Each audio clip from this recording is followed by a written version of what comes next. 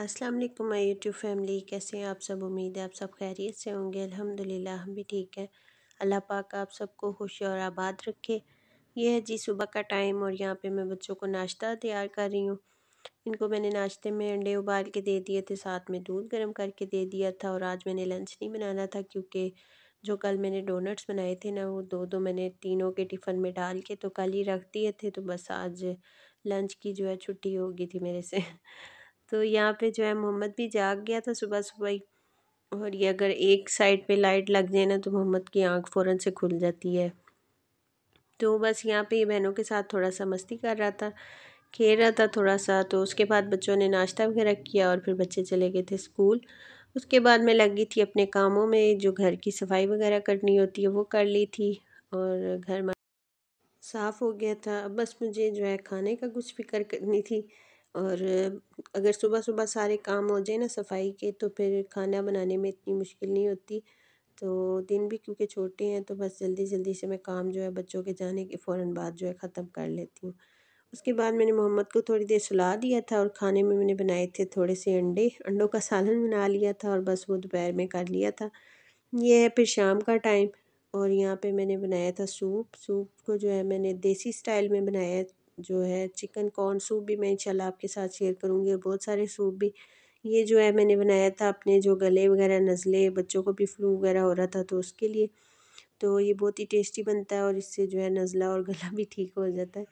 तो इसमें मैंने जो है, चिकन को पहले लहसुन के साथ थोड़े से ऑयल में फ्राई कर लिया था और फिर उसमें डाल दी थी, पानी डाल दिया था और मोटी इलायची दारचीनी थोड़ा सा ज़ीरा, थोड़ी साबुत काली मिर्च और थोड़ा सा प्याज और अदरक, लहसुन, ये सारी चीज़ें डाल के मैंने इसको पकने के लिए छोड़ दिया था, जब तक चिकन अच्छे से गल ना जाए।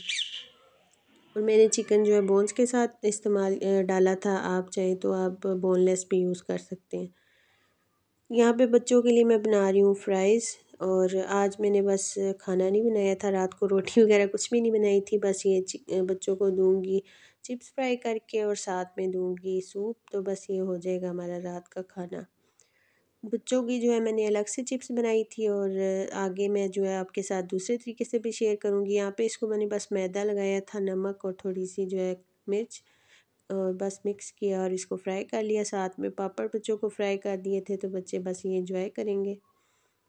साथ में जो है मेरा चिकन यहाँ पे जो है गल गया था अच्छे से, इसको मैं छान लूँगी अच्छे से, यखनी को जो है अलग कर लूँगी और चिकन में जो जितने भी चीज़ें डाली थी ना, वो अलग हो जाएँगी छानने से।